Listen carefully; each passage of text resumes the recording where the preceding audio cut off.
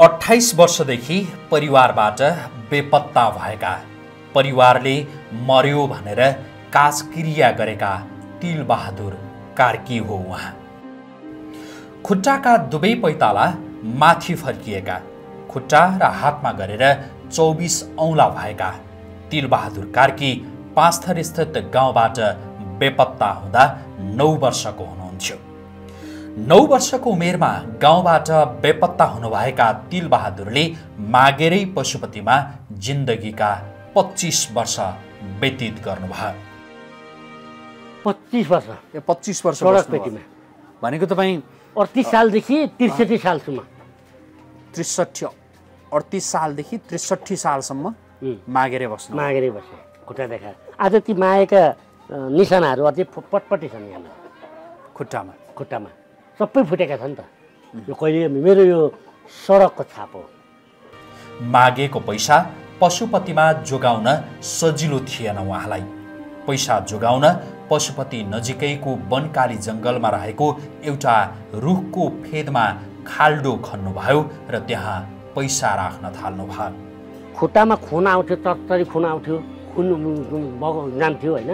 त्यो बिहानदेखि बेलुकासम्म हिँड्दाखेरि खुट्टा यत्रो हुन्थ्यो सुन्नेर होइन। थकाइ कति लाग्थ्यो होला कति हुन्थ्यो होला अब त्यो साथीले लुट दिने अनि लुटेर के गर्ने भने रस खाने यसो खाने सुई हान्ने अब त्यस्तो गरेर गरिसकेपछि अब हुँदैन भनेर मैले गौशाला जयबाई श्री जङ्गल भनेको तपाईँलाई रातो पुल जाने बाटो जङ्गलमा त्यो वरिपरि अहिले पनि छ त्यो रुख अहिले ढलेको छ। त्यो वरिपरि कम्पाउन्ड घेरेको थियो एउटा पल जस्तो थियो सानो। त्यो तपाईँले जाँदा जाँदै जयबासीको यतापट्टि हेर्नु हेर्नुहुन्छ होला त्यो पल जस्तो थियो। त्यहाँबाट छिरेर गएर राति बाह्र बजी मैले खुकुरी मसँगै हुन्थ्यो सबै। त्यो खुकुरीले सात दिन लाएर मैले त्यो खाल्टो खनेँ खुकुरीले मात्रै माटो सोध्दै गरेर त्यो रुखको फेदमा जरामा मुनिबाट एक साइडमा जस्तै यो रुख भयो भने यतापट्टि खोएँ यतापट्टि खनेँ नि। यतापट्टि खन्दाखेरि अब त्यो तल जरा भेट्यो। जरा भेट्यो सात दिन लाएर मैले त्यो खनिसकेपछि अनि त्यो मैले बोरा त्यहीँ हालेँ। त्यसपछि गएर पैसाहरू अब चाहिँ मैले यहाँ मेरो सेफ हुन्छ पैसा। मागेर जम्मा गरेको त्यही पैसा जसले पच्चिस वर्षपछि उहाँले यस्तो कामको थालनी गर्नुभयो जुन कामले धेरै बेसहारा र असहाय बालबालिकाहरूको जिन्दगी बदलियो। शारीरिक रूपमा आफै अपाङ्गता रहनुभएका र त्यही अपाङ्गताका कारण गाउँ टोल छर छिमेकबाट तिरस्कृत भई गाउँ नै त्यागेर वर्षौँसम्म बेपत्ता हुनुभएका तिलबहादुर कार्कीको अहिलेको काम धेरैका लागि प्रेरणादायी हुन सक्छ। अन्ठाउन्नजना बालबालिकालाई आश्रय दिनुभएको छ उहाँले। आश्रय केन्द्रसँगै गाई पाल्नु भएको छ कुखुरा पाल्नु भएको छ तरकारी खेती गर्नु भएको छ। आज हामी उहाँसँगै विस्तृत कुराकानी गर्दैछौँ। तिलबहादुरको सङ्घर्ष र परोपकारी मनसँग यहाँहरूलाई साक्षात्कार गराउँदैछौँ। नमस्कार हजुर नमस्कार हजुर आराम हुनुहुन्छ? हजुर आराम यहाँ त वर्षौँ घरबाट बेपत्ता हुनुभएको। हजुर। कति वर्ष आफ्नो परिवारसँग यहाँले भेट्नु भएन भेट्न पाउनु भएन? अठाइस वर्ष पछाडि भेट भएको हो। अठाइस वर्ष पछाडि हजुर। आफ्नो परिवारसँग हजुर। भेट भयो। कति वर्षको उमेर थियो यहाँको घरबाट भनौँ न छुट्टिँदा बाहिरिँदा। म नौ वर्षको म दुई हजार उन्तिस सालको मेरो घर पूर्व पाँचतर हो सरङ डाँडा नम्बर चारमा म जन्मेको हो। आमाको कोखबाट अपाङ्ग चौबिस अमले जन्मेपछि अलक्षिमी आइमेले यस्तो अपाङ्ग छोरो जन्माइ चौबिस अमले जन्माइ भनेर आमा छोरालाई गाउँबाट निकाला गरेपछि म चाहिँ मर्न हिँडेको मान्छे। नौ वर्षको बालक दुई हजार उन्तिस सालको जन्म दुई हजार अडतिस साल तिन महिना पौष पन्ध्र गते बुधबारको दिन म पशुपति आएर घाटमा आएको थिएँ। त्यतिखेर भर्खर गौशालाको वडा पदाधिकारीलाई उद्घाटन थियो। भनेपछि तपाईँ नौ वर्षको हजुर। उमेरबाट तपाईँले अहिले भन्नुभयो नि कि अपाङ्गता भएको छोरालाई जन्म दिएको। आमाले भनेर। हजुर।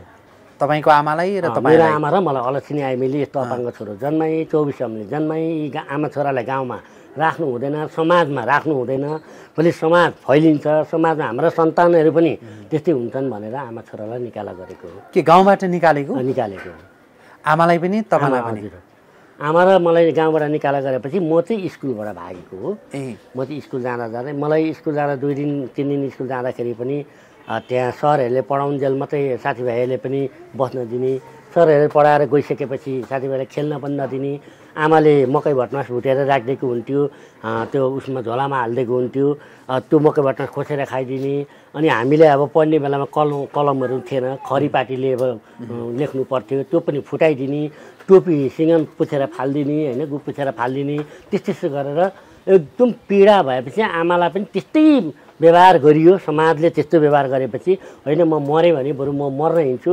म मरेँ भने मेरो आमालाई राम्रो हुन्छ भनेर म हिँडेको मान्छे हो। तपाईँ भर्खर नौ वर्षको एकजना बच्चा होइन? बच्चा नौ वर्षको बच्चाले आफूलाई गरेको त्यो अपमान हजुर। महसुस गरेर तपाईँ त्यो ठाउँमा बस्न मन लागेन। हजुर। अनि हिँड्नुभयो तपाईँको जुन अहिले मैले हात खुट्टा जो देखिरहेको छु यो जन्मदै तपाईँको आमाको। पोखबाट छ छ छ चौबिसवटा छ। चौबिसवटा औँला खुट्टा जुन यो फर्किएको हजुर, सबै खुट्टा तला फर्किएको। माथि फर्किएको यो जन्मदै यस्तै थियो र यसरी चौबिस औँला भएको चौबिस औँलेलाई हाम्रो ठाउँमा गाउँमा राख्यो भने अरूका बच्चा बच्ची पनि यस्तै जन्मिन्छन्। भनेर त्यो समाजले हेला गरेको। हजुर हजुर। तपाईँ पढ्नु पनि हुन्थ्यो स्कुलमा? म दुई दिन मात्रै गएँ। ए दुई दिन जानुभयो जम्मा? हजुर दुई दिन दुई दिन स्कुल गएँ। अनि दुई दिन जाँदा मलाई पनि त्यस्तै व्यवहार गरिएपछि म चाहिँ अनि होइन अब म मऱ्यो भने मेरो आमालाई राम्रो हुन्छ। आमा घाँस दाउरा गर्न जाँदा मेलापात जाँदा पँधेरामा बुहारी मान्छे पँधेरामा पानी भर्न जाँदा पनि समाजले ती महिलाहरूले ती महिला दिदीबहिनीहरूले आमाहरूले चाहिँ अलसिनीको अनुहार हेर्नु हुँदैन भनेर त्यसो भनिदिने आमा दिनरात रुने। अनि मैले सोधेँ केही नभन्ने। नौ वर्षको बालकले त नौ वर्षको बालक त बुझ्छ नि त सबै कुरो होइन? अनि त्यो भएपछि मेरै कारणले रहेछ म मऱ्यो भने मेरो आमालाई त कमसे समाजले राम्रो त्यो बाल मस्तिष्कमा त्यस्तो पर्यो अँ, त्यस्तो भयो एउटा बालकलाई त्यस्तो भएपछि एउटा जन्मदिने आमालाई त्यसो गरिसकेपछि त्यो आमाको आँखाबाट आँसु देख्नु नसकेपछि त्यो बालकले के गरोस् त? किनभने त्यो बालकलाई त अब म दिमागमा त पर्यो होइन? साँच्चै मेरै कारणले होला हात खुट्टामा चौबिसवटा आमालाई छ। होइन? अब म यस्तो अपाङ्ग जन्मिएको छु। मेरै कारणले मेरो आमालाई यस्तो भएको होला। अब कमसेकम म हिँडेँ भने अथवा मरेँ भने त मेरो आमालाई त समाजले पनि राम्रो गर्ला नि। अथवा अलक्षिन त म- मऱ्यो गयो अब उसलाई राम्रो गर्नुपर्छ भन्ला होइन? त्यो भनेर पनि अनि म चाहिँ अब के अरे म हिँड्दाखेरि म स्कुलबाट भागेँ अँ, खुकुरी ब्याग झोला मैले त्यही भनेर खुकुरी ब्याग झोलादेखि लिएर बो बोरादेखि लिएर सबै बोकेर मे अनि त्यो मैले मेटासीको बोतलहरू अहिले पनि छ मसँग। त्यो बोतलहरू मैले बाटामा खाँदै गर्दै हिँडेको तर मर्छु भनेर खुट्टा तानेर हुँदा रहेछ चाहिँ मर्न सकिनँ मैले। जन्म- तपाईँले आमालाई तपाईँलाई त्यो समाजले गरेको अपहेलना उम्, सहन नसकेर। हजुर। तपाईँ के मेटासिटको बोतल भन्नु होइन? उरुस मार्ने दबाईहरू हुन्छ जस्तै अनि मुसा मार्ने दबाईहरू हुन्छ नि अब त्यो खोपा खोपामा राखेको थियो त्यस्तो दबाईहरू घरमा राखेको? घरमा राखेको त्यो निकालेर अनि मैले चाहिँ अब बाँचिन्छु भने के गरौँला। अथवा मरिछु भने मर्नै भने हिँडेको मलाई बाँचेर यस्तो गर्छु भन्ने मलाई थाहा थिएन। त्यो चाहिँ के झोलामा हालेर? झोलामा हालेर हिँडेको मैले अनि म जहाँ अब च्यानघारी हुन्छ जहाँ जङ्गल हुन्छ जहाँ ढुङ्गाको ओडार हुन्छ त्यस्तो ठाउँमा बस्दै अनि जहाँ भोक लाग्छ पानी पिएर त्यस्तो गरेर हिँडेको। अनि त्यो जुन बिख त खानु भएन। खाएँ। बिख खानु बिख खाएँ तर मलाई बिख खान रेगटा मात्रै चल्यो बमिट मात्रै आयो। के थोरै थियो या बिख त जति भए पनि लाग्थ्यो होला होइन? लाग्थ्यो तर रिगा त मात्रै चल्यो बमिट मात्रै आयो क्या। मलाई त्यो मर्न खाएको हो नि त म त। तर मर्छु भनेर खाएको हो नि। तर मर्न सकिनँ कि बिख खानु हो। तर बमिट आउने उल्टी मात्रै आयो क्या। उल्टी आयो रेगा त चल्यो उल्टी आयो। अनि तपाईँलाई आमालाई त्यसरी छोडेर हिँड्दाखेरि आमाको माया त पक्कै लागेरै न आमाको त्यो पीडा सहन नसकेर न तपाईँ त्यहाँबाट बाहिरिने हुन्छ नि गाउँ छोड्ने गाउँबाट भाग्ने या मर्ने त्यो निर्णयमा तपाईँ पुग्नु हजुर हजुर। तपाईँले अघि भन्दै हुनुहुन्थ्यो कि जस्तो समाजले नै आमालाई मलाई त्यहाँबाट के लखेटेपछि यस्तै के शब्द प्रयोग गर्नुभएको थियो? अनि कसरी लखेटेका थिए के भएको थियो या बोलीले लखेटेको कि साँच्चै तपाईँहरूलाई त्यो गाउँबाटै निकालेको के थियो? त्यो समाजबाट नै निकालेको। समाजबाट समाजबाट निकालिसकेपछि जब म स्कुल गएँ स्कुलबाट म भागिसकेपछि आमा एक दुई दिन मात्रै बस्नु भएछ अँ, त्यो गाउँमा। त्यसपछि आमा त्यो गाउँमा मेरो पीडाले आमा खोज्दै हिँड्नु भयो ए, खोज्दै जस्तो यो भनेको चाहिँ जस्तो तपाईँलाई आमालाई त्यो गाउँले हजुर। तथानाम के के भने। भनिसकेपछि चाहिँ त्यही भनेको कुरालाई चाहिँ लखेटेको रूपमा तपाईँले बुझ्नुभयो। मैले अहिले यसरी बुझ्दा भयो। त्यो त्यतिखेर भनेको वडा प्रधान प्रधान पञ्च भन्थे त्यतिखेर मुखिया भन्थे तपाईँलाई थाहा छ होला होइन। अब यो अडतिस सालको कुरो हो। दुई हजार अडतिस सालमा त म यहाँ आइपुगेको थिएँ। अनि मुखिया भन्थे त्यतिखेर चाहिँ लखनपछि त्यस्तो भनिसकेपछि म हिँडेँ। म हिँडेपछि आमालाई अब पीडा भएछ पीडा भएपछि आमा पनि अब अब छोरो त छैन। अब छोरालाई कहाँ भेट्ने कता खोज्ने खोज्दा सारा संसार गर्दाखेरि पनि के भएपछि आमा माइती गएर बस्नुभएछ। ए को को हुनुहुन्थ्यो घरमा चाहिँ तपाईँहरू? कति दाजुभाइ कति दिदीबहिनी? तपाईँ त्यतिखेर मेरो बुवा तपाईँ त्यहाँबाट मर्न भनेर जो हिँडै भन्नुभयो नि। हजुर। होइन. त्यति बेला तपाईँको परिवारमा को को हुनुहुन्थ्यो? मेरो परिवारमा त्यतिखेर भनेको बुवा हुनुहुन्थ्यो। म दाई अनि आमा। यति मात्रै तर बुवा गाउँमा हुनुहुन्न थियो घरमा हुनुहुन्न थियो। बुवा त्यहाँको सचिव हो र जिल्लामा बस्नुहुन्थ्यो। जुन पनसुङ लाउटीको भनौँ न झोला बोकेर हिँड्ने त्यतिखेर बेलामा। पनसुङ लाउटी भनेको त पहिलेको जमानाको गृहमन्त्री पद्म सुन्दर लावती हजुर। उहाँको झोला बोकेर हिँड्ने अनि उहाँ फिल्म जिल्लामै बस्ने। अब घरबाट करिब पनि तिन दिन लाग्थ्यो। हिँडेर तिन चार दिन लाग्थ्यो फिल्म जिल्लामा पुग्नलाई पाँच तरबाट। अब हामी त अब किनभने पाँच तरको पनि अब कुना ठाउँमा भनौँ न एउटा लेक ठाउँमा बस्थ्यौँ अब त्यतिखेर गाडीहरू थिएन केही थिएन। अनि हिँडेर बुवाहरू चाहिँ उतै बस्नुहुन्थ्यो।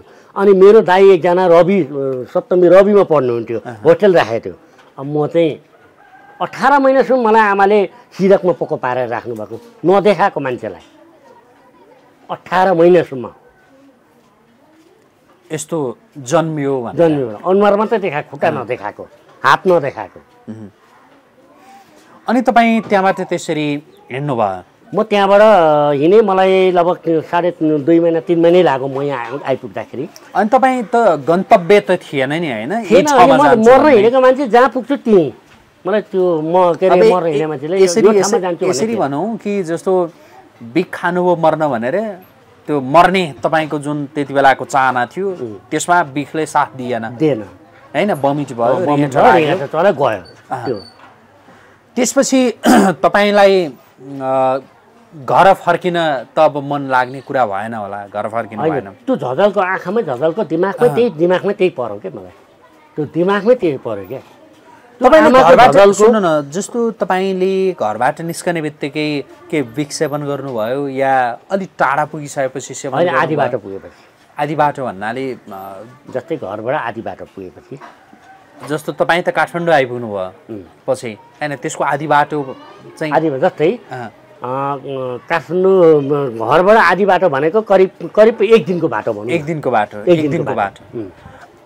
हिँड्दै गर्दाखेरि तपाईँलाई रिङ्गटो लाग्यो भमिटिङ भयो होइन? त्यसपछि चाहिँ अरू कुनै ढङ्गले हुन त मैले यस्तो प्रश्न सोध्नु त्यति जायज होइन। यद्यपि अब मर्न भनेर हिँडेको म मरिनँ फेरि अरू कुनै ढङ्गले मर्छु म भन्ने खालको चाहिँ लागे लागेन। त्यति गरिसकेपछि तपाईँको म मर्छु भनेर मैले बिख खान पनि मर्न सकिनँ यातना पनि त्यता झझलको त्यही आउने झझलको के आउने भने आमाको यो झझलको आउने आफ्नो समाजको आउने होइन।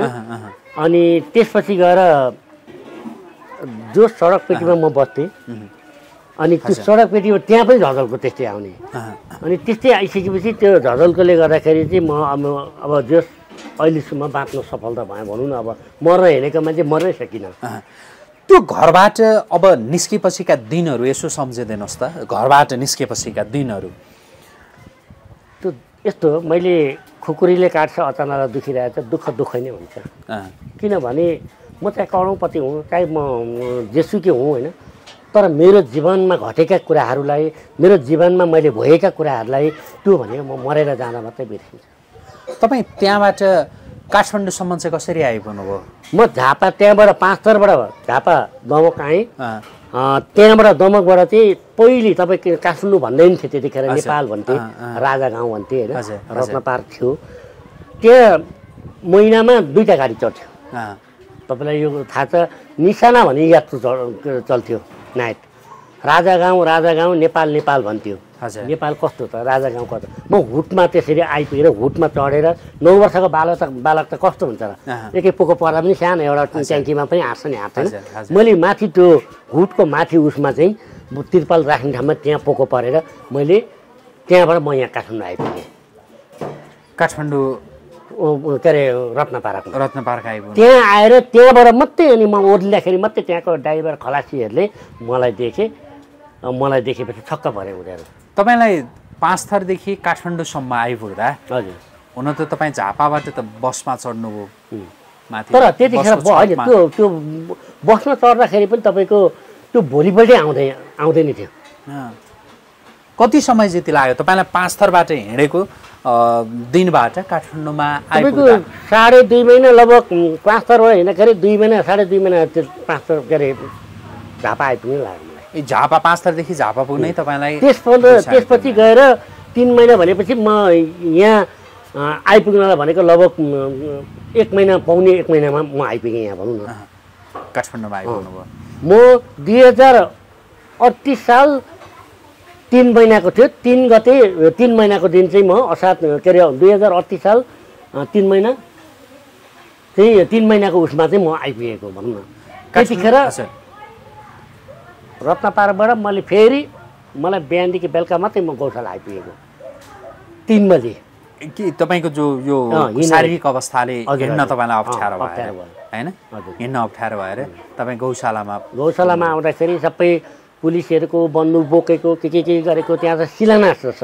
जो वडा कार्यालय पुलिसहरूको शिलान्यास छ ठुल्ठुलो भ्याइपी मान्छेहरू पनि आएछ अनि त्यो शिलान्यासले चाहिँ उ गर्दाखेरि मलाई त्यहाँ लड्डुहरू पनि दिए उ गरेँ त्यो गरेँ। अनि त्यसपछि गएर अनि गौशाला त्यो वडा कार्यालय त्यो एकछिन बसेर अनि तलतिर खुट्टुकै झरेको ठुल्ठुलो मन्दिरहरू देखेँ। तपाईँले तपाईँले। मसँगको एउटा अनौपचारिक कुराकानीमा भन्नुभएको थियो जस्तो रत्न पार्कबाट होइन आउँदै गर्दा कहाँ बानेश्वरमा कहाँ गोजुरी होटल भन्ने के होटल रहेछ गजरी होटल। रत्नपाराबाट म एभरेस्ट होटल पछाडि। एभरेस्ट होटल पछाडि त्यो गजुरी होटलमा आयौँ अनि गजुरी होटलमा म आएर त्यहाँ चाहिँ अब जुन मलाई त्यो आन्द्रा सुकेको थियो भोक लागेको थियो रिङ्गा र चक्कर लागेको थियो त्यो गजुरी होटलमा आएर भाँडा मार्न भाँडा मार्न मागेँ अनि भाँडा मार्न दिएँ अनि त्यसपछि गएर मैले त्यो भाँडा मार्नुभन्दा अगाडि सिता भेला गरेर मैले खाना खाएँ। त्यो खाना खाइसकेपछि मलाई रिङ्गटा चढ्यो चक्कर लाग्यो। त्यसपछि गएर चक्कर लगाइसकेपछि अनि चक्कर लगाइसकेपछि भाँडासाँडा माझेँ रातभरि यत्रो डेक्चीहरू माझेँ उ गरेँ। भोलिपल्ट आएको भोलिपल्ट चाहिँ नवजीवन खनिज केन्द्र जोरपाटीबाट गलैचा कारखानाको मेन मान्छे आयो त्यहाँ कफी खान अथवा खानालाई चिया खान आयो। त्यसपछि गएर चिया के अरे बनाइदिएँ उ गरेँ। अनि भोलिपल्ट नि आयो। उसले ठेगाना दियो। अनि यस्तो बाबु घर कहाँ हो के हो यस्तो अपाङ्ग रहेछौ त्यहाँ अपाङ्गमा गएर बस त्यहाँ पढ्न पाइन्छ खाना पाइन्छ लाउन पाइन्छ सबै भनेर मलाई एड्रेस दिएको थियो। अनि त्यो एड्रेस दिएको थियो त्यो एड्रेस मलाई कसैले देखाइदिएँ मैले राखेँ।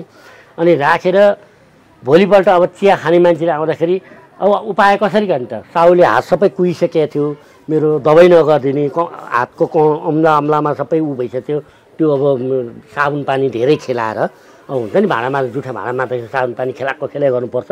त्यो भइसकेपछि भोलिपल्ट बिहानै उठेर देख रातभरि अब डेक्चीहरू मार्नुपर्ने। बिहानै उठेर खुट्टा त्यस्तै कुहियो थियो पानीले गर्दाखेरि त्यस्तै भएको थियो।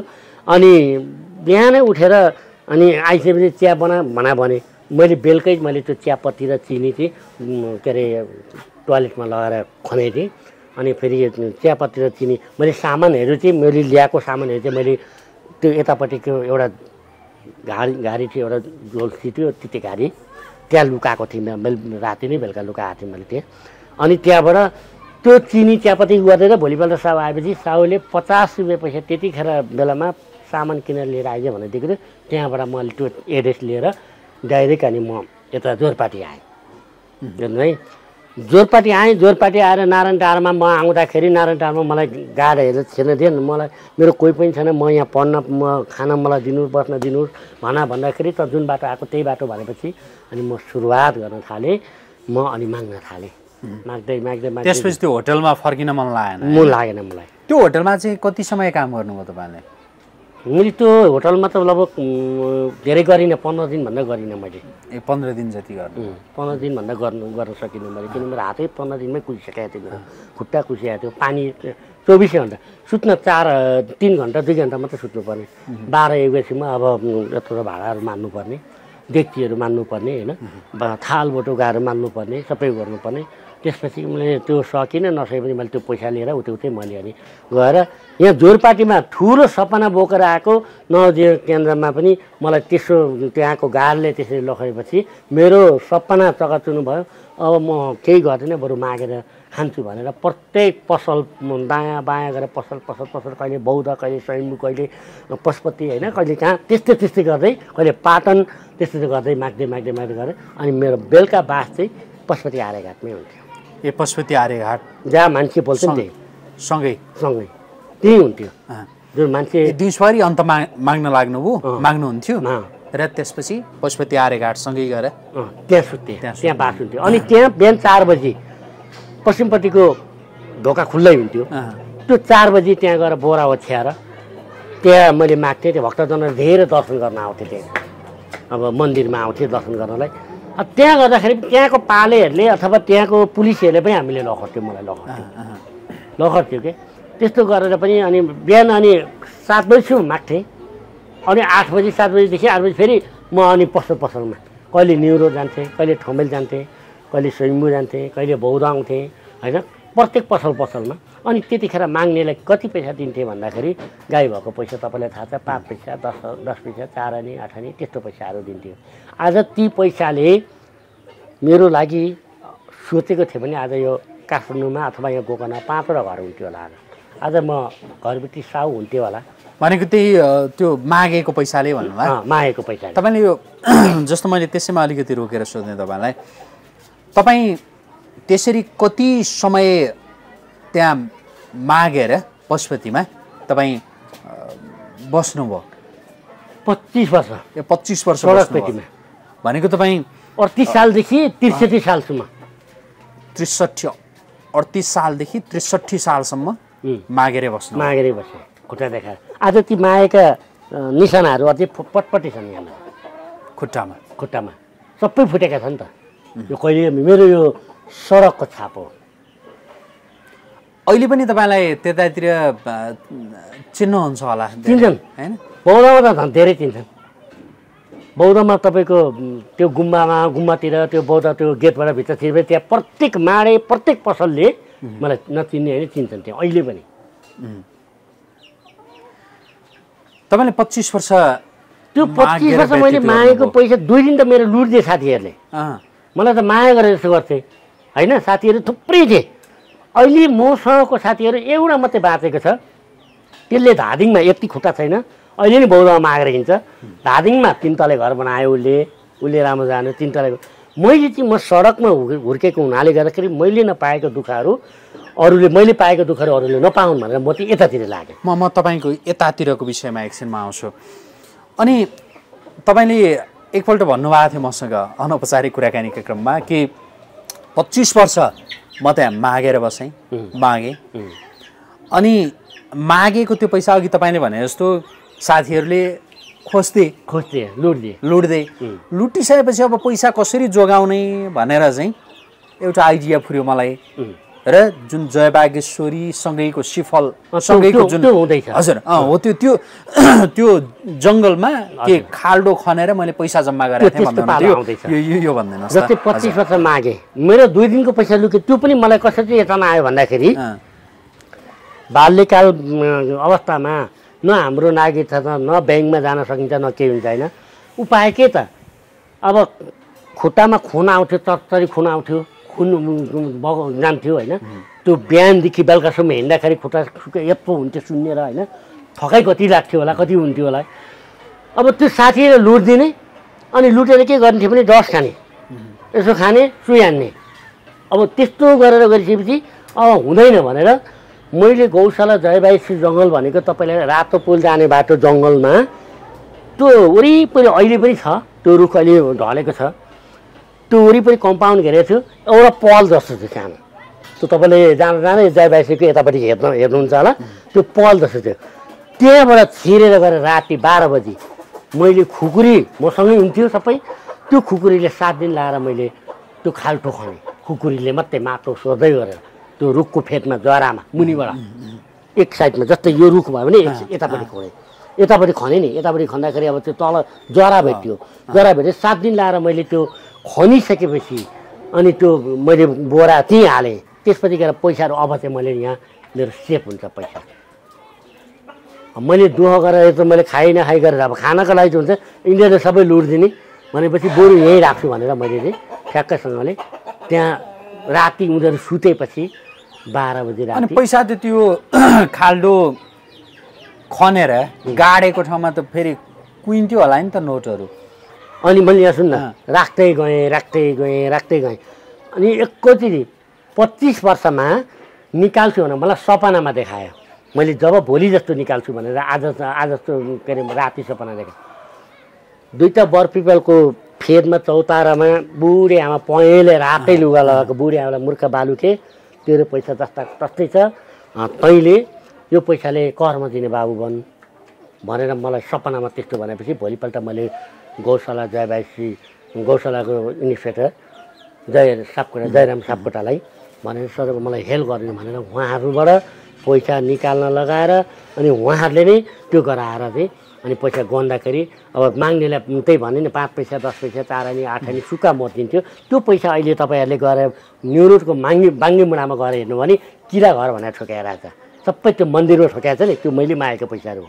भने त्यति पैसा जम्मा गरेर पाँच लाख एकाउन्न हजार पच्चिस सयमा भएको थियो त्यो पैसा। है? कागजको नोट कुहियो? पाउने। त्यो कागजको नोट त बोरा पनि कुहियो त्यो सम्पदको बोरा। पैसा पनि अब त्यो कागजको नोट त कुहिँदो रहेछ। नम्बर पनि थिएन। त्यसपछि जयबार के अरे गौशालाको इन्सपेक्टरले जयराम सापकोटाले चाहिँ पैसा गनिदिएर पाँच लाख एकाउन्न हजार पच्चिस रुपियाँको बिटा पाँच सयको हजारको बिटा गर्दाखेरि मलाई हटेर भयो। पाँच लाख एकाउन्न हजार पच्चिस रुपियाँ पच्चिस रुपियाँ पच्चिस पैसा। सिक्काहरू सिक्काहरू। नोट। नोट त कुहियो। नोटको यो त्यो काम लागेन। काम लागेन। त्योभन्दा बाहेकको सिक्का मात्रै त्यति। जम्मा गर्नु पाउने चार हिसाब गरेर पाउने चार लाख जति चाहिँ कुहिएको छ नेट। नोट त्यो नोट भनेको एक रुपियाँ। दुई रुपियाँ त्यतिखेर भनेको। दुईको नोट एकको नोट। राजाको पैसाहरू नि राजाको सिरिपेको पैसाहरू। त्यो त्यो कुहियो। भनेपछि सिक्का सुक्का मात्रै पाँच पैसा दस पैसा चार आनी आठ आनी ढके एकको ढके त्यति मात्रै त्यति रह्यो अनि मैले अब त्यो पैसा उहाँहरूले साटेर सबै गरेर त्यो अब टेबलमा राखेको मलाई हटाएर भयो अनि उहाँहरूकोमा के भन्न जानुभयो प्रहरीकोमा प्रहरीका म के? मलाई मैले यसरी पैसाहरू जम्मा गरिदिएको छु जम्मा गरेको छु म यस्तो यस्तो मान्छे मलाई एकचोटि हेल्प गरिदिनु तपाईँको भ्यान मलाई साथी दिनुहोस्। मलाई ल के अरे हेल्प गरिदिनु मेरो पैसा निकाल्न खन्न सघाइदिनु। मैले यो ठाउँमा गाडेको छु भनेपछि जयराम सापकोटा आफै गएर गौतमहरू गएर सबै उहाँहरूले नै खनेर निकालेको पैसा ए अघि भन्दा हुनुहुन्थ्यो नि के कहाँ अनि गौशालामा लगेर गन्दाखेरि जति पैसा देख्नुभयो त्यो देखेपछि मलाई हजार पाँच सयको र हजारको नोट मैले देखाएको थिइनँ। मैले कता कता नि सयको र एक सय सयको पचासको बिसको दसको पाँचको चाहिँ मैले जब दुई हजार के अरे उन्नाइस के अरे दुई हजार अन्ठाउन्न सालमा राज परिवारको एउटा ऊ भएको थियो नि। अन्ठाउन्न साल जेठ उन्नाइस गते दरबार हत्या दर काण्ड, हत्या। अँ। त्यतिखेर राज परिवारहरूलाई सबै त्यहाँ पशुपति आर्यघाटमा जलाउन ल्याउँदाखेरि जलाएपछि पनि एक महिनासम्म रह्यो त्यो पैसा के अरे त्यहाँ विष्णु भगवान् भनेर त्यहाँ भक्तजनहरूले पाँचको दसको बिसको सयको पचासको चढाउँदो ए तर त्यो म खोलाको मुनि माथितिर जलाएको छु त्यो पुरै एक महिनासम्म चाहिँ बाँसले उ गरेर झिलिमिली बनाएको थियो। जो जो त्यहाँ पुगे पनि पैसा चढाउने। अनि म त्यो खोलाको त्यो मुनिबाट चाहिँ पुलिसहरू सबै उ गरेर चाहिँ राति राति म त्यो पैसा निकाल्थेँ। आज सायद त्यही पैसाले होला अनि यता मैले सङ्ग्रह गरेँ त्यही पैसाले गर्दा आज यो ठाउँमा आएँ। होइन? अनि अनि अनि त्यो पैसा तपाईँलाई त्यो पैसा देखिसकेपछि फेन्ट हुनुभयो तपाईँ। फेन पाँच सयको र हजारको पैसा देखेपछि मतलब फेन भयो नि त। यत्रो। यत्रो ठुलो पाँच लाख एकाउन्न हजार पच्चिस रुपियाँ पच्चिस पैसाको बिटो देख्दाखेरि को फेन हुँदैन? एउटा माग्नेले गाई भएको भन्दा त देखाएको थिएन नि त। एकको दुईको नोट भन्दा देखाएको थियो नि त। अनि अन्ठाउन्न साठी पाँचको दसको देखियो। सयको यस्तो हुँदो रहेछ पचासको यस्तो त्यो देखियो होइन? अनि अब त्यत्रो नोट त पाँच सय हजारको त देखेकै थिइनँ मैले। अनि फेन हुनु पऱ्यो नि। फेन भएपछि मलाई टिचिङ हस्पिटल लगियो। हेर्नु है उहाँहरूले पैसा दिए। पैसा उहाँहरूले राखे टिचिङ हस्पिटल लगेर फेरि एक हप्तामा फेरि मलाई सन्च भएर आइसकेपछि अब दिमागमा त मेरो त्यही पऱ्यो। भएपछि अब यसलाई अब यो ना यो भाइलाई अब यो नानीलाई चाहिँ यो भाइले चाहिँ अब यसरी यत्रो पैसा देखाउनु हुँदैन भनेर हजारको नोट सयवटाको कति हुन्छ? एक लाख? पाँच सयको नोट सयवटाको कति हुन्छ? पचास हजार। एक दुई तिन यसरी गरेर त्यसरी गरेर त्यो उहाँहरूले दिएपछि उल्टै पैसा जयराम सापकोटाले पैसा थपिदिएको हो मलाई कति। थप्दिनु भयो मलाई पन्ध्र हजार रुपियाँ पैसा थपिदिएको। उल्टै उहाँहरूले। उहाँले पन्ध्र हजार थपिदियो लो तिम्रो एकदम राम्रो सोचाइ रहेछ विचार रहेछ उहाँले त भने घर परिवार जग्गा किन्नु काठमाडौँमा घर परिवार लिनु यस्तो यस्तो भनेर सबै भन्नुभएको थियो उहाँहरूले होइन तपाईँले त्यो पैसा निकाल्ने सोच चाहिँ तपाईँलाई एक रात सपनीमा सपनीमा एकजना कोही आमा आमा बुढी। कोही आमा बुढी आमा आमाकै याद आयो होइन? नि मलाई उहाँले भगवानै बनेर आउनुभयो भन्नु उहाँले सपनीमा तपाईँलाई भन्नुभयो के तैँले जुन पैसा राखेको छस् जस्ताको तस्तै त्यो पैसा जस्ता तस्तै छ त्यो पैसा निकाल र तँ जस्तै अपाङ्गता भएका। त्यस्ता नानीहरूको लागि एउटा लागि। कर्म दिने बाबु भनेर मलाई सपनामा बताएपछि। भोलिपल्ट गएर उज्यालो भएछ भोलिपल्ट गएर अनि जयराम सापकोटालाई भनेर पुलिसहरू ल्याएर खनेर त्यो गरेको अनि त्यसपछिको प्रक्रिया कसरी तपाईँले यो जुन बालबालिकाहरूलाई आश्रय दिने आश्रय स्थल खोल्नुभयो? त्यसपछि गएर मैले त्यस- भने जयराम यो पैसाले के के गर्ने भनेर सोध्नुभयो। जयराम अब पुलिसहरू सबैले सोध्नुभयो। मैले यो पैसाले हिजो म सडकमा हुर्केको र मैले हिजो सडकमा सङ्घर्ष गरेर अथवा सडकमा म एउटा मागेर यो पैसा मैले अब अब मैले त्यतिखेर भने नि त उ गरेको। मलाई लोभ छैन मैले घर बनाउँदिनँ म केही गर्दिनँ। म यो पैसाले अब कर्म दिने बाबु बन्छु। अब संस्था दर्ता गरेर यो पैसाले सबै गरेर अनि कर्म दिने बाबु बनेर म बस्छु भनेर भनेपछि ल राम्रो स्रोत छ भनेर उहाँहरूले गरेपछि मैले संस्था दर्ता गर्न थालेँ। संस्था दर्ता गरिसकेपछि फेरि त्यतिखेर मसँग नागरिकता थिएन। मलाई जयराम सापकोटाले एउटा गुण चाहिँ के गरिदिनु भयो भने धर्म छोरो भनेर उहाँले एउटा ना उ चाहिँ बनाइदिनु भयो मलाई। त्यतिखेरको बेलामा यो गुण कहिले पनि म बिर्सिनँ उहाँले सायद भन्नु पनि भयो होला तपाईँलाई होइन? उहाँले त्यो गरेपछि अनि मैले संस्था दर्ता गरेर तेह्रजना सुरुवात गरेर गर्दा गर्दा आज दसजना खाने बनाएँ आज अन्ठाउन्नजना यहाँ छन्। र त्यो खुसी त के हो बाबुआमाको त वास्ता भएन मलाई। तर बाबुआमाको पनि न्याय के अरे अब माया माया छ सम्झिन्छु। मैले अलिकति तपाईँलाई अर्को विषय सोधेँ जस्तो यहीसँग सम्बन्धित। तपाईँको त्यसपछि जब पैसा तपाईँहरूले गर्नुभयो तपाईँकोमा जब पैसा आयो त्यसपछि तपाईँ अब संस्था दर्तातिर लाग्नुभयो संस्था खोल्छु। आश्रय दिने। आश्रय त्यही भने मैले भने उहाँहरूलाई मैले यो पैसाले उहाँले घर जग्गा किन्नु के के के के भन्नुभएको थियो मैले यो पैसाले कर्म दिने बाबु बन्छु संस्था दर्ता गरेर मैले जो सडकमा भएका नानी बाबुहरू जसका बाबुआमा छैन म त्यसको बाबु बनेर मैले हिजो सडकमा भएका चिजहरूलाई ती नानी बाबुहरूलाई म भोग्न दिन्न भनेर मैले उहाँहरूलाई त्यो भनेको हो नि। त्यसपछि तपाईँ संस्था खोल्नुभयो। होइन नाम के राख्नुभयो? संयुक्त अपाङ्गता केन्द्र। संयुक्त अपाङ्ग एकता आवत एकता आवास केन्द्र भनेर। त्यो राख्नुभयो। तपाईँको त्यो उद्देश्य चाहिँ अपाङ्गता भएका अलपत्र परेका एक हिसाबले भन्यो भने सबै। सबैले बालबालिकाहरूलाई राख्ने आश्रय दिने। आश्रय दिने। होइन त्यो पैसाले। अनि कहाँ जस्तो यसका लागि तपाईँले कुन ठाउँमा खोल्नुभयो आश्रय केन्द्र चाहिँ? मैले शान्तिनगर। शान्तिनगरमा। वडा नम्बर चौतिस भनेपछि शान्तिनगरमा खोलेँ मैले। नयाँ बानेश्वर शान्तिनगरमा। कालेश्वर मन्दिर थियो पछाडि। चार कोठे सानो एक तले टहरो लिएर त्यहाँ खोलेर तेह्रजना सुरुवात गरेको। दत्ता भयो सबै भयो सबैले साथ दिए। हुँदा हुँदा हुँदा हुँदा गरेर अनि लास्टमा गएर त्यहाँ पनि अब पानीको अलिक उ भएपछि अब सानो भयो। सानो भइसकेपछि अनि फेरि पछि गएर म त्यहाँबाट फेरि बच्चाहरू बढ्दै गएपछि अनि मलाई चाहिँ मिडियाहरू सबैले सपोर्ट सपोर्ट पनि गरे। त्यतिखेर कान्तिपुरदेखि लिएर सबैले सपोर्ट गर्नुभयो जस्तै हाम्रो जस धेरै मिडियाहरूले तपाईँलाई सपोर्ट गर्नुभयो तपाईँको विषयमा बाहिर आएर समाचारहरू पैँसठी सालमादेखि मलाई छैसठी सालदेखि सपोर्ट गरे। मिडियाहरूले चाहिँ। अनि अनि जब मिडियाले बोला बोला जब मिडियाले सपोर्ट गरिसकेपछि जब तब मात्रै मेरो बाबुआमाहरूलाई छोरो जिउँदै रहेछ भन्ने कुरो थाहा भयो। किन? त्योभन्दा अगाडि त मेरो धागोले बाँधेर चिठी पुगेको रहेछ घरमा। कोही कसैले पुर्यायो? कसले कसैले पुर्यायो? अब कुन दोषले पुर्यायो? अनि यो छोरो मरेछ भने क्रियाकाज गरेछन् उनीहरूले। गाउँमा क्रियाकाज सबै सबै गरेछन्। पछि भने मलाई। तपाईँ जस्तो टेलिभिजनमा कुनै टेलिभिजनमा तपाईँ अन्तर्वार्ता दिँदै हुनुहुन्थ्यो। होइन यहाँले यहाँले भन्नुभएको कुरो पहिला मसँग भन्नुभएको कुरो म यहाँ अलिकति उल्लेख गरेँ। नेपाल टेलिभिजनमा। त्यो चाहिँ अन्तर्वार्ता तपाईँको घरमा बुवा आमाले हेर्नुभएको हेर अँ हेर्नु होइन? भएन बुवा आमाले हेर्नु त्यतिखेर छोरो त मरिसक्यो भन्ने परेको थियो। काजक्रिया भइसकेको थियो भइसकेको थियो चिठी पुगिसकेको थियो। काजक्रिया गर्नुभएको अँ, काजक्रिया गरेको थियो। अब त्यो काजक्रिया गरेको मान्छेले भित्र पस्न दिँदैन नि। एउटा विधि त बनाउनु पऱ्यो नि होइन? अनि अब उहाँहरूले चाहिँ छोरो मरिसक्यो भने अनि छोरो मरिसक्यो भनेर काजक्रिया उहाँ भयो। त्यो टेलिभिजनमा तपाईँले देखिसकेपछि चाहिँ ओहो हाम्रै छोरो यस्तो छ। खुट्टा यस्तै थिए हात यस्तै थिए यही हो भन्ने उहाँहरूलाई पर्यो। र त्यसपछि उहाँहरू बेलुकाको प्रोग्राम हेर्नु हजुरले। बुवाहरूले नेपाल टेलिभिजन बेलुकाको प्रोग्राम हेर्नु कतिखेर उज्यालो हुन्छ र यसलाई लिएर आउने खोज्न जाने भनेर बा- दाइ र बुवा आउनु भएछ यहाँ त्यतिखेर मेरो बहिनीको घर पनि यहाँ रहेछ। है? त्यतिखेर म बानेश्वरमा सा के अरे शान्तिनगर बानेश्वरमा मैले बच्चाहरू उ गराएर बसिरहेको थिएँ। अनि हाम्रो दिपक समित नेपाल टेलिभिजन त्यतिखेर सम- समितदेखि लिएर उनले हेर्नुभएको थियो। अनि थुप्रैले त्यो भएपछि उहाँहरू आउनुभयो ठ्याक्कै भेट्नुभयो।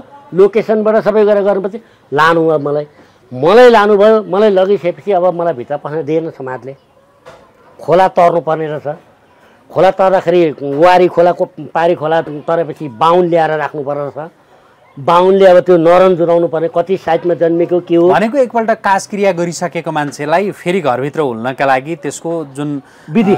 विधि विधि। धार्मिक धार्मिक। सांस्कृतिक जो हुन्छ नि परम्परा परम्परा। जो त्यो अनुसारको तपाईँ जानुभयो गएँ बुवा तपाईँलाई यहाँ लिन को आउनुभयो मेरो बुवा र दाइ ए बुवा र दाई आउनुभयो बुवा र दाई अनि तपाईँले सहजै चिन्नुभयो अठाइस वर्ष पछाडि मैले त चिन्ने? मैले त चिन्ने भन्न भन्दा पनि अब दाई बुवाहरूलाई चाहिँ चिन्ने त चिन्ने हुन्छ तर बुवा बुवा र दाइले चाहिँ मलाई चिने।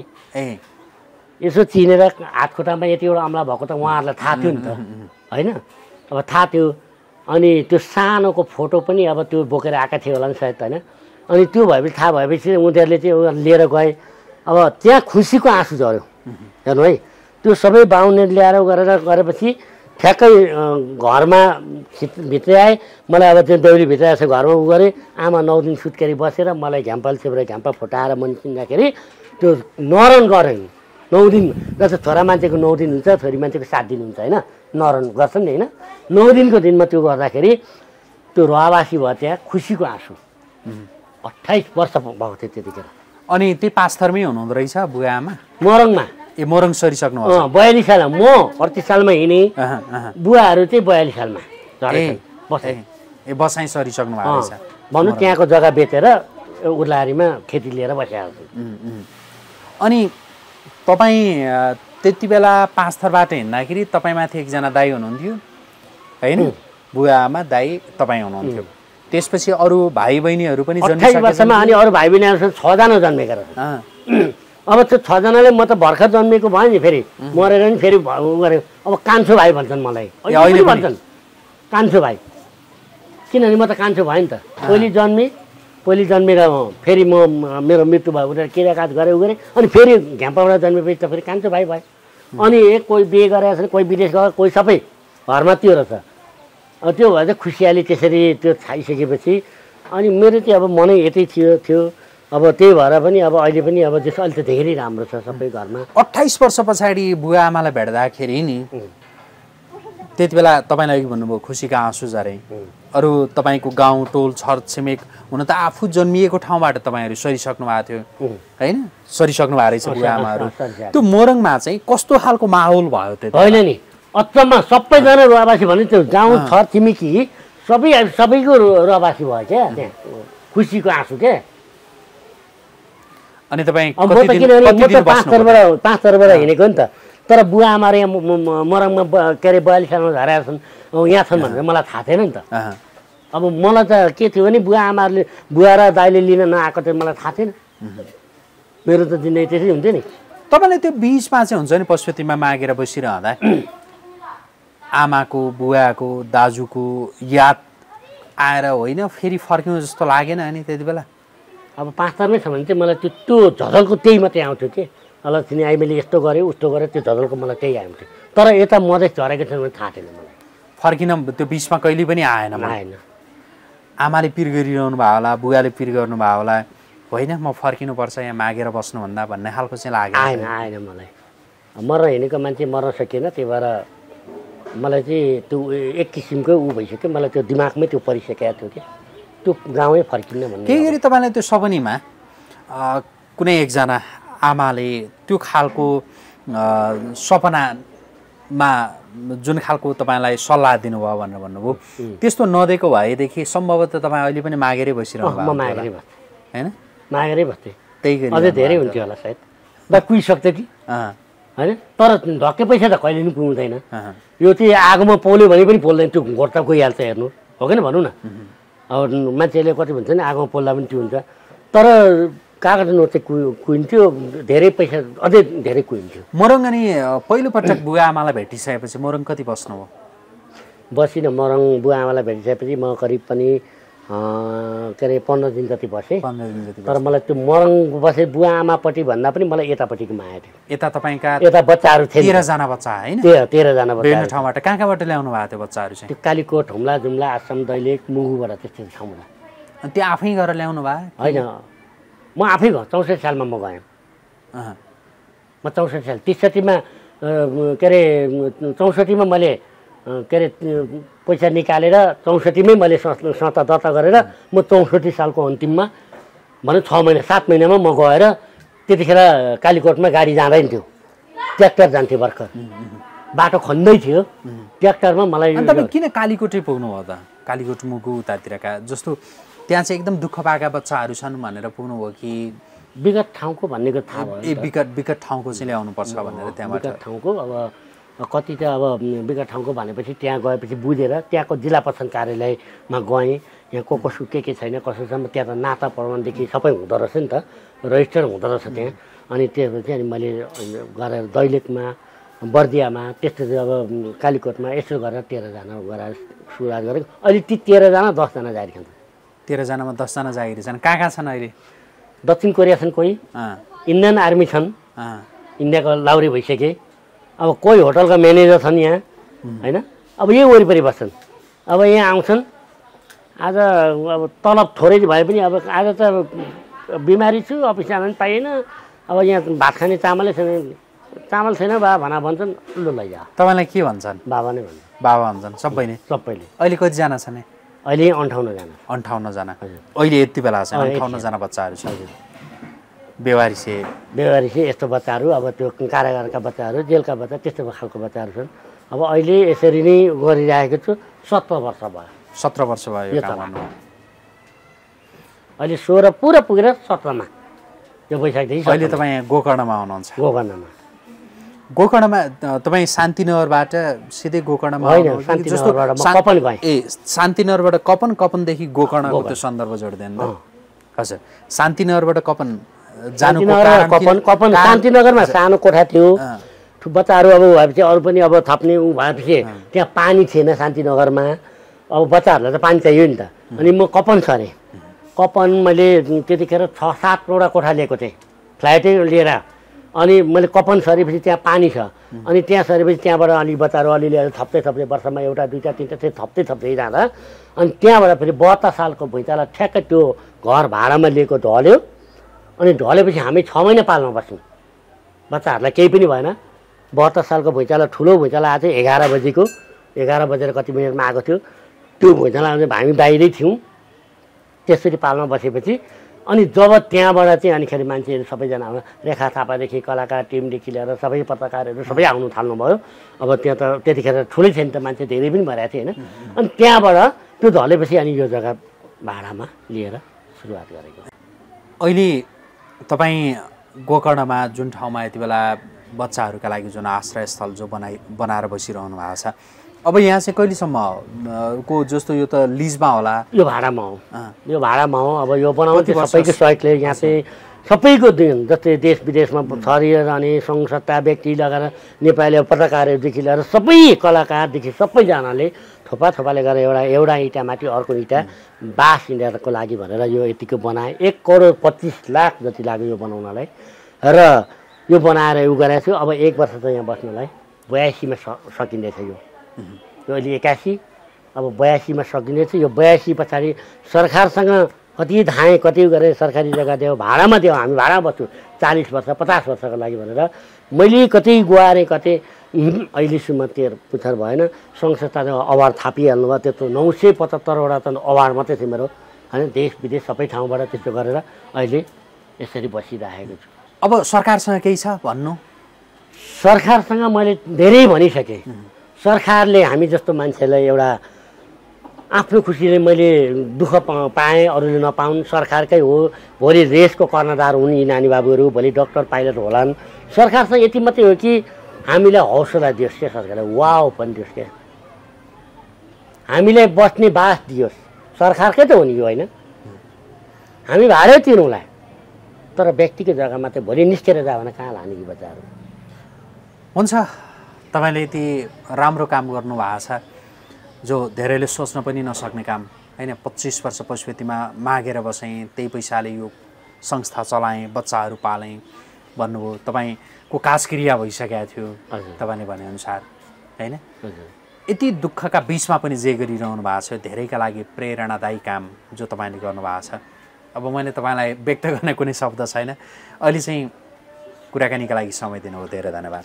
धेरै धन- धन्यवाद हाम्रो रोहित सरलाई पनि। धेरै दिन पछाडि भेटियो धेरै वर्ष भनौँ पछाडि भेटियो।